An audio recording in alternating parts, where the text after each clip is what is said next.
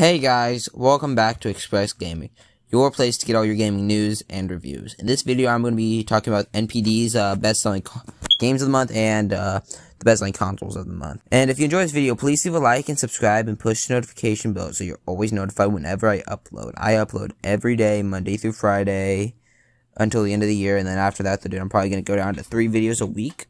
But until then, dude, let's get into the video. Okay, guys. Uh, according to NPD, the best-selling console of the month in terms of units sold was the Nintendo Switch, which would make this like its 24th consecutive month of being the best in North America, which is awesome.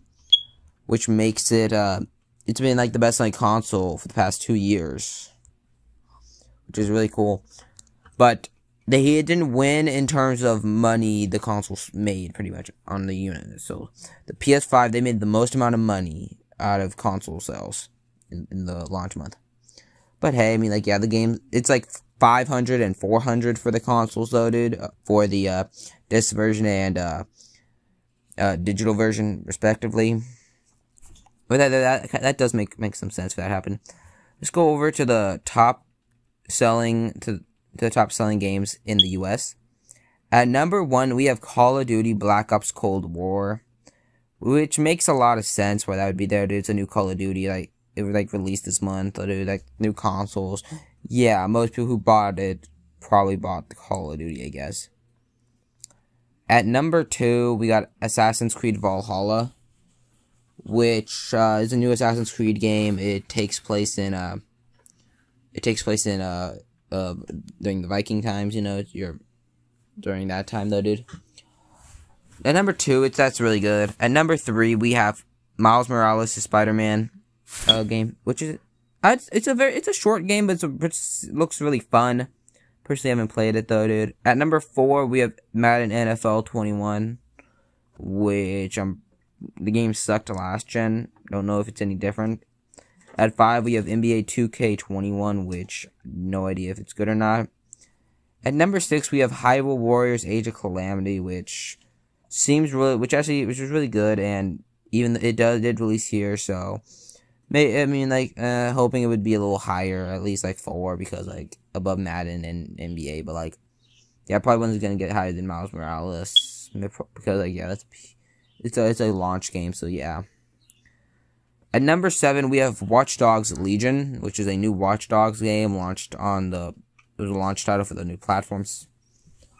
Uh, number eight, we have Animal Crossing New Horizons, which this game uh, will not get out of like the top ten, dude. Probably, which is, until like it's a year on the market. Even then, though, it's probably not. This game's been selling so well, sold so many units. It's probably at this point the best selling game on Switch yeah, when we get uh, Nintendo's quarterly updates, uh, like in January though, dude, for December's for like the fourth quarter of 2020, it will probably the best selling game on Switch. At number nine, we have FIFA 21. I mean, it's a FIFA game. At number 10, we have Demon Souls, which again, it's a launch title for the for PS5, so yeah, it's probably gonna be up there.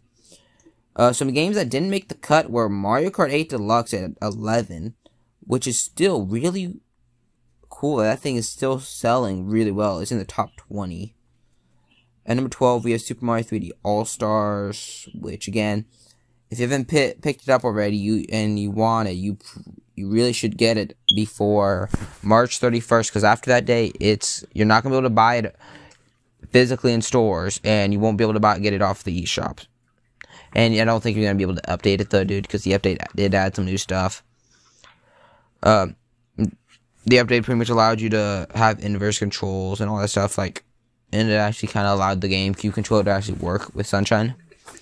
Okay, let's go on to the next one. 13, we have Just Dance 2021. 14, we have New Super Mario Bros. U Deluxe. And number 15, we have Luigi's Mansion 3. Which, super cool. It's actually really cool how all these games were able to make it like top 10, top 15, though, dude. Like, how many of these games came out on Switch, though, dude? Uh, three games in the top 10 came out on Switch. NBA 2K21, it did come out on Switch, but like it's probably not selling. It's probably selling most of it on like the PS5 and Xbox Series X and play and PC. Uh, Madden. I feel like Madden could be a really fun. It could be decent on the Switch though, dude. But like, it, it wouldn't look as good as it will next gen. I mean, duh. But hey, if you enjoy this video, please leave a like and subscribe and push the notification bell so you're always notified whenever I upload. Again, I upload every day, Monday through Friday until the end of the year. And please leave a like and subscribe and push the notification bell so you're... And hey, that's the end of the video. Bye.